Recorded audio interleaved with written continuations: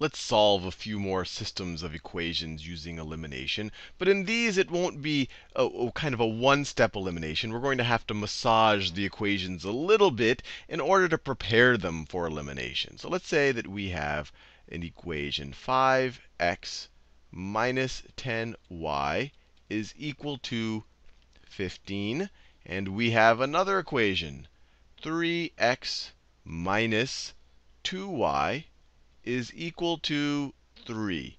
And I said we want to do this using elimination. Once again, we could use substitution. We could graph both of these lines and uh, figure out where they intersect. But we're going to use elimination. But the first thing you might say, hey, Sal, you know, with elimination, you are subtracting the left-hand side of one equation from another, or adding the two, and then adding the two right-hand sides. And I could do that because it's essentially adding the same thing to both sides of the equation. But here, it's not obvious that that would be of any help. If we added these two left-hand sides, you would get 8x minus 12y. That wouldn't eliminate any variables. And you know, on the right-hand side, you would just be left with a number. And if you subtracted, that wouldn't eliminate any variables. So how is elimination going to help here? And the answer is we can multiply both of these equations in such a way that maybe we can get one of these terms to cancel out with one of the others. So let's say we want, and you could really pick which term you want to cancel out. Let's say we want to cancel out the y terms. So I'll just rewrite this 5x minus 10y here. 5x minus 10y is equal to 15. Now, is there anything that I can multiply this green equation by so that this negative 2y term becomes a term that will cancel out with the negative 10y. So I essentially want to make this negative 2y into a positive 10y, right? Because if this was a positive 10y, it'll cancel out when I add the left-hand sides of this equation. So what can I multiply this equation by? Well, if I multiply it by negative 5, negative 5 times negative 2 right here would be positive 10. So let's do that. Let's multiply this equation times 5 times negative 5. So you multiply the left-hand side by negative 5 and multiply the right-hand side by negative 5. And what do you get? Remember, we're not cha fundamentally changing the equation. We're not changing the information in the equation. We're doing the same thing to both sides of it. So the left-hand side of the equation becomes negative 5 times 3x is negative 15x. And then negative 5 times negative 2y is plus 10y is equal to 3 times negative 5 is negative 15. And now we're ready to do our elimination. If we add this to the left-hand side of the yellow equation, and we add the negative 15 to the right-hand side of the yellow equation, we are adding the same thing to both sides of the equation, because this is equal to that. So let's do that. Let's do that. So 5x minus 15y. We have this little negative sign there. We don't want to lose that. That's negative 10x. The y's cancel out. Negative 10y plus 10y, that's 0y. That was the whole point behind multiplying this by negative 5. Is going to be equal to 15 minus 15 is 0. So negative 10x is equal to 0. Divide both sides by negative 10 by negative 10 and you get x is equal to 0. And now we can substitute back into either of these equations to figure out what y must be equal to. Let's substitute into the top equation. So we get 5 times 0 minus 10y is equal to 15. Or negative 10y is equal to 15. Let me write that. Negative 10y is equal to 15. Divide both sides by negative 10 both sides by negative 10. And we are left with y is equal to 15 over 10 is negative 3 over 2. So if you were to graph it, the point of inter intersection would be the point 0, negative 3 halves. And you can verify that it also satisfies this equation. The original equation over here was 3x minus 2y is equal to 3.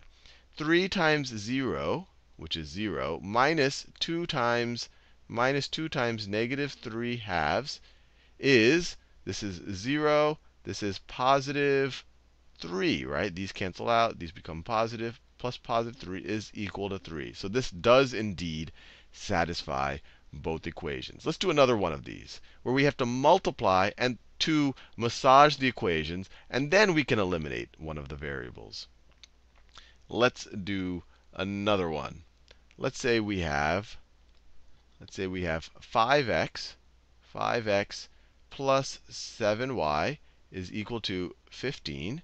And we have 7, let me do another color, 7x minus 3y is equal to 5. Now, once again, if you just added or subtracted both the left-hand sides, you're not going to eliminate any variables. These aren't in any way uh, kind of have the same coefficient or the negative of their coefficient. So let's pick a variable to eliminate. Let's say we want to eliminate, I don't know, let's say we want to eliminate the x's this time. And you could literally pick on one of the variables or another. Doesn't matter. You could say, oh, let's eliminate the y's first. But I'm going to choose to eliminate the x's first. And so what I need to do is massage one or both of these equations in a way that these guys have the same coefficients, or their coefficients are the negatives of each other, so that when I add the left-hand sides, they're going to be they're going to eliminate each other. Now, there's nothing obvious. You know, I could multiply this by a fraction to get make it equal to negative 5. Or I could multiply this by a fraction to make it equal to negative 7. But even a more fun thing to do is I can try to get both of them to be their least common multiple. I could get both of these to 35. And the way I can do it is by multiplying by each other. So I can multiply this top equation by 7. Let me multiply this top equation by 7. And I'm picking 7 so that this becomes a 35. And I could multiply this bottom equation by negative 5 by negative 5. I negative 5. And the reason why I'm doing that is so that this becomes a negative 35. Remember, my point is I want to eliminate the x's.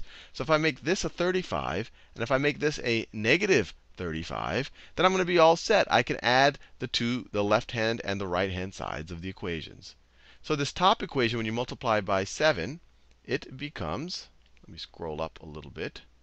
When you multiply by 7, it becomes 35x plus 49y, 49y is equal to, let's see, this is 70 plus 35 is equal to 105, right? 15 at 70 plus 35 is equal to 105. That's what the top equation becomes.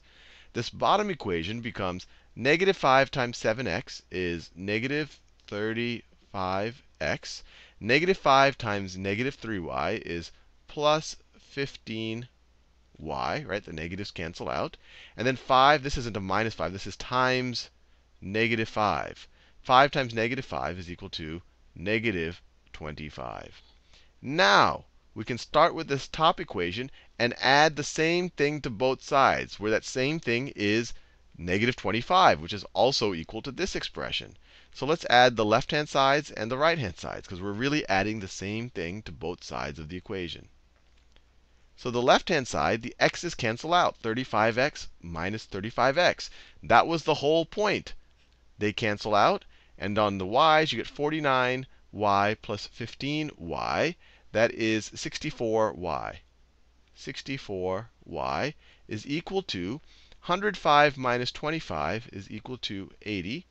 Divide both sides by 64 divide both sides by 64, and you get y is equal to 80 over 64.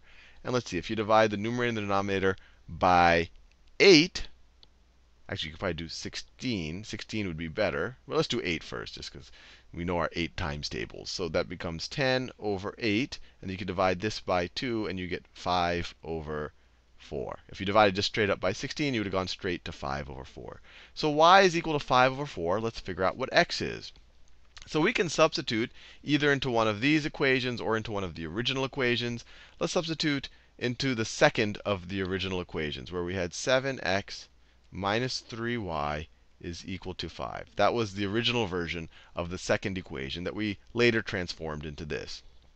So we get 7x minus 3 times y times 5 over 4 is equal to 5. Or 7x minus 15 over 4 is equal to 5. Let's add 15 over 4. Oh, sorry, I didn't do that right.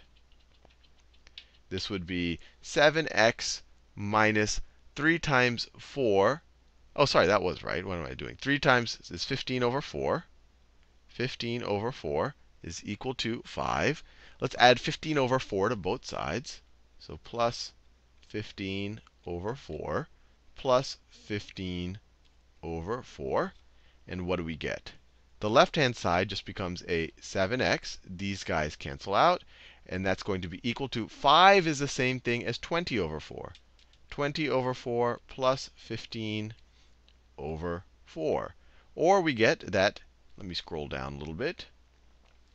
7x is equal to 35 over 4. We can multiply both sides by 1 seventh, or we could divide both sides by 7. Same thing. Let's multiply both sides by 1 seventh. The same thing as dividing by 7. So these cancel out, and you're left with x is equal to. Here, if you divide 35 by 7, you get 5. You divide 7 by 7, you get 1. So x is equal to 5 fourths as well. So the point of intersection of this of this right here is both x and y are going to be equal to 5 fourths. So if you looked at it as a graph, it would be 5 fourths, comma, 5 fourths. And let's verify that this satisfies the top equation. If you take 5 times 5 over 4 plus 7 times 5 over 4, what do you get? It should be equal to 15. So this is equal to 25 over 4 plus, what is this? This is plus 35. 35 over 4, which is equal to 60 over 4, which is indeed equal to 15. So it does definitely satisfy that top equation, and you can check out this bottom equation for yourself. But it should, because we actually use this bottom equation to figure out that x is equal to 5 fourths.